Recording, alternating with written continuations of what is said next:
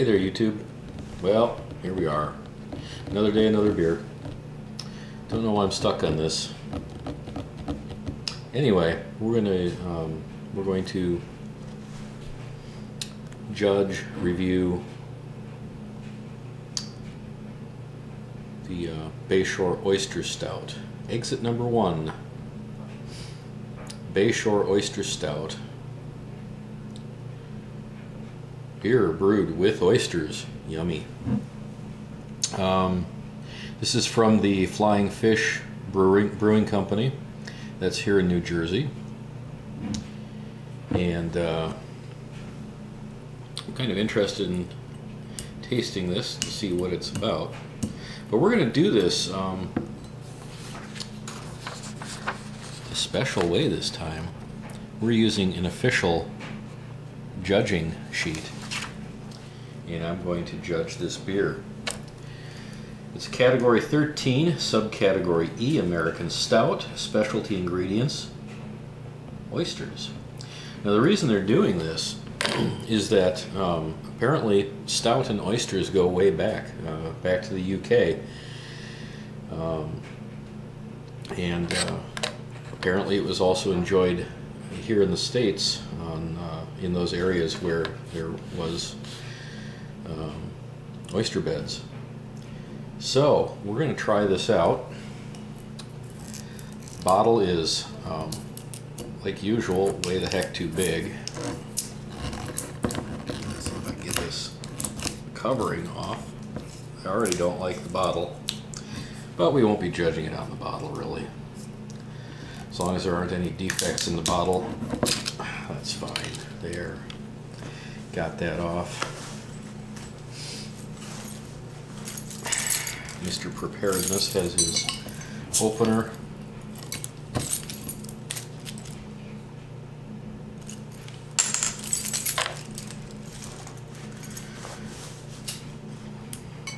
How's the fill level on that is good.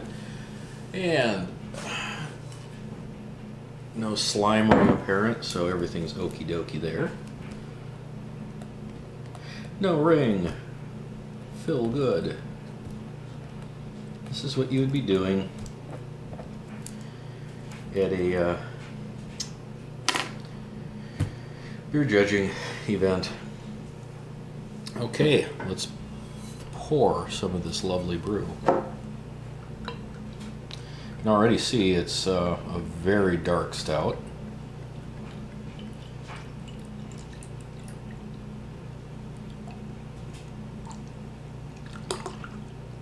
get a little bit of a head on there. Okay, now, I don't know if you can see that, but that is really, really lovely. It's beautiful. What a what an incredible head that's got on it. Now, can we see? Cannot see light through there, so we'll have trouble judging clarity, but um, then again, my little glasses aren't that far away. I should have gotten one to begin with.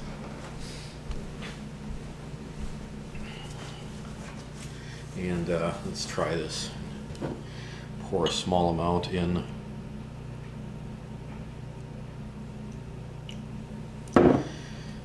Well, ain't that cute? Okay, do we see anything through there? Oh, not really. When you get right near the edge, you can see a little bit. It's got a very beautiful dark, dark brown color. Very well within style. Um, as far as color, it's jet black. Yeah, it's pretty close. It's a really dark brown. Um, hate to say this, the head is not persistent. It was pretty good. Um, and again, it could be my glassware. This is old stuff. It's been washed many times. It's probably got a lot of detergent that sticks in little cracks and crevices that old glasses develop. Um, wow, that's incredible. Okay. Aroma. Well,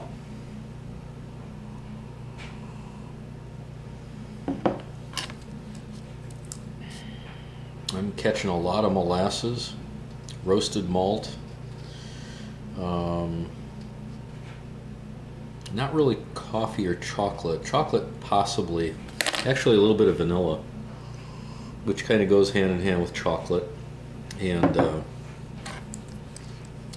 there's some burnt aromas, but they're very low. Really nice. Um, I'm not catching hop aroma, so that's probably pretty low on the on the uh, chart here. Um, not catching any esters or any other uh, fruity flavors. No diacetyl. Um, diacetyl is um, kind of a butterscotchy kind of taste or aroma, um, kind of like um, butterscotch or really uh, bad movie theater popcorn. So thankfully, none of that. Let's take a taste.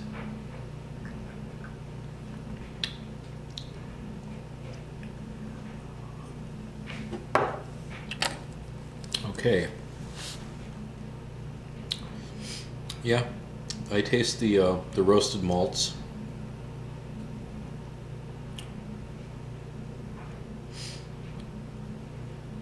It's a bit chocolatey in the flavor. Definitely has a burnt, um, I wouldn't say coffee flavor, but you can tell that there's uh, black patent malt in there. It's got a very burnt flavor to it. It's very distinctive. Um, not overwhelming. I wouldn't call it prominent, but it's getting close. I think I would prefer this if it had a little bit less um, of the black patent malt in it. it. It's within style, I think, but very, very much towards the high end.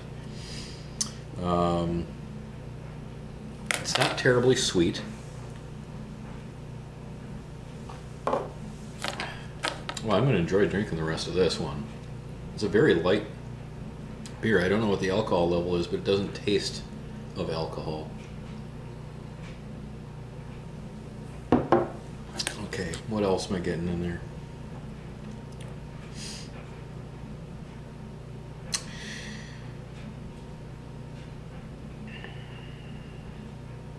It's very interesting. This actually reminds me a little bit of Guinness. I think it's a little bit more astringent than, than Guinness is. Guinness has a different, slightly different flavor. This is definitely an American stout. Um, there's a light burnt flavor at the finish. Very good beer, all in all. I would I would highly recommend this one. Um, it's got good hop bitterness, not a lot of hop flavor or aroma. Um, it's very, I mean, you can taste the roasted malt in it. I would say that's the prominent thing. There's also a, a flavor of um, the black patent or kind of burnt malt. Gives it a very nice um, crisp flavor in a way.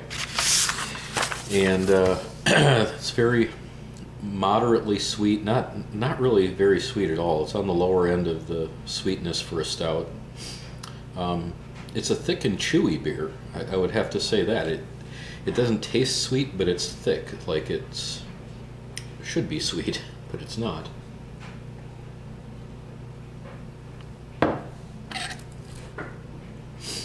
So, yeah, it's got a, a good medium body.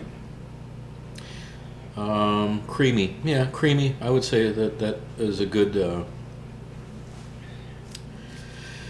good description of it. Creamy. The the carbonation is there. It's not heavily carbonated. Um, the bubbles are very small, and uh, I think that adds to the mouthfeel, the, the kind of a creamy texture. It also takes away from what should be a very heavy beer. Um, it makes the, the smaller bubbles kind of um, running across your tongue. It cuts the the sweetness and the heaviness of it makes it a very, very nice, very drinkable beer. I would say they, now they say medium high to high carbonation. I'm not sure about that. I would say medium carbonation. Um, so, if that's the case, this beer isn't quite in style. There are a few things that's on the border. Uh, carbonation's definitely out.